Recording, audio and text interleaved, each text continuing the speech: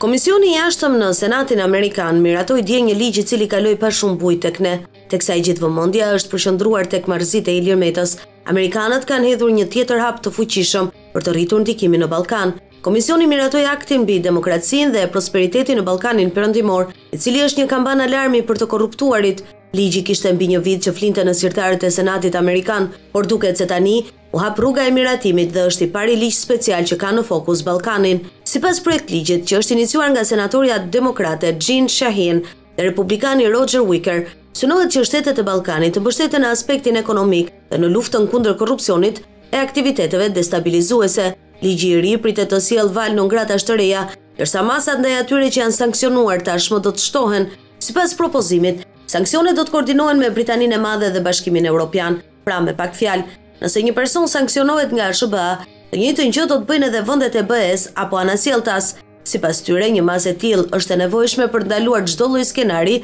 destabilizues. Vazhdojmë të mbështesim Maqedoninë e Veriut dhe Shqipërinë në rrugën drejt Bashkimit Evropian, duke mbështetur reformat përkatëse për të përmbushur standardet që kërkohen për anëtarësim. Vazhdojmë të mbështesim Bosnjën dhe Hercegovinën, duke inkurajuar avancimin kuptimplotë të axhendës së saj të reformave. Duhet të koordinohemi ngushtë me Bashkimin Evropian dhe Mbretërinë e Bashkuar, aleatët e tjerë dhe vendet partnerë, për vendosjen e sanksioneve dhe të punojnë për të harmonizuar përpjekjet tona me qëllim që të tregojmë një angazhim kuptimplotë në ruajtjen e vlerave demokratike, thuhet në draftin e siguruar nga pamfleti përmes projektligjit. Senatorët amerikanë kërkojnë nga Sekretari amerikan i Shtetit Antony Blinken dhe udhëheqësit e departamenteve për ekonominë dhe tregtinë që jo më vonë se njëqind e tetëdhjetë ditë pasi të hyjë në fuqi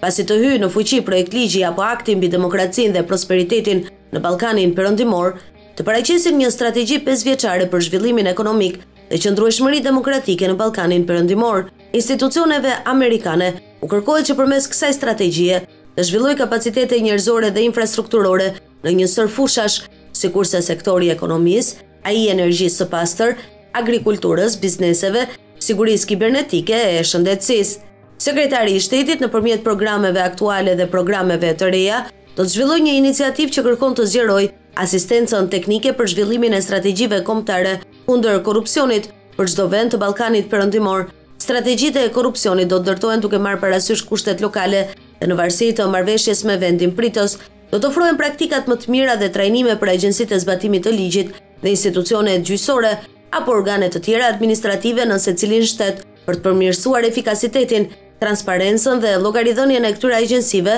dhe institucioneve, thuhet aty. Fokusi i aktit mbi demokracinë dhe prosperitetin në Ballkanin Perëndimor është te korrupsioni, por duket se qëllimi i vetëm nuk është ndëshkimi i atyre që kanë futur duart në xhepat e shqiptarëve dhe fqinjve tanë. Sinjalet janë se SHBA përmes këtij akti do të sjellë një ndryshim të të gjithë kastës politike në Ballkan, përfshirë edhe vendin tonë. Sekretari i Shtetit do të zhvillojë dhe zbatojë një program të njohur si iniciativa e lidershipit të rinisë ballkanike, BOLD, që promovon arsimin, profesionalizmin dhe mbështetjen për profesionistët e rinj në Ballkanin Perëndimor, të cilët kanë demonstruar një pasion për të kontribuar në zhvillimin e vazhdueshëm të rajonit. Projekti synon të mbështesë liderët e rinj ballkanikë, duke ofruar zhvillim profesional, trajnim dhe mundësi rrjetëzimi, veçanërisht në fushat e lidershipit, inovacionit, angazhimit qytetar, zgjedhjeve, të drejtave të njeriut, sipërmarrjes, qeverisjes së mirë dhe administratës publike, të mbështetë liderët e rinj në politikë e parlament mbi qeverisjen e mirë, mbrojtjen e mjedisit apo etikën e qeverisjes, thekson drafti. Më tej thuhet se pas hyrjes në fuqi të ligjit, do jepen bursa për shumë të rinj në Ballkan, të cilët do shkollohen dhe do trajnohen në SHBA, e më pas do kthehen në vendet e tyre me ide e qëllime të qarta. Pra duket se SHBA po fillon të krijojë një elitë të re politike, duke i dhënë fund kastës së korruptuar që na drejton prej tridhjetë vitesh. Në mënyrë të veçantë, Akti i Demokracisë dhe Prosperitetit Ballkanit Perëndimor krijon një iniciativë rajonale që nxit konkurrencën tregtare dhe ekonomike, krijon një nismë kundër korrupsionit që detyron Sekretarin e Shtetit të ofrojë asistencë teknike për çdo vend në Ballkanin Perëndimor për të zhvilluar një strategji kombëtare kundër korrupsionit, kodifikon dy urdhra ekzekutivë të SHBA-së për të vendosur sanksione kundër atyre që kërcënojnë paqen dhe stabilitetin në Ballkanin Perëndimor, por edhe për ata që janë të përfshirë në afera korruptive, nxit partneritetet universitare dhe iniciativat rinore, inkurajon angazhimin e Korpusit të Paqes në rajon dhe, së fundi, njeh rolin kryesor të sigurisë kibernetike në mbrojtjen e infrastrukturës kritike kundër aktiviteteve malinje nga kundërshtarët, përfshirë Rusinë dhe Iranin.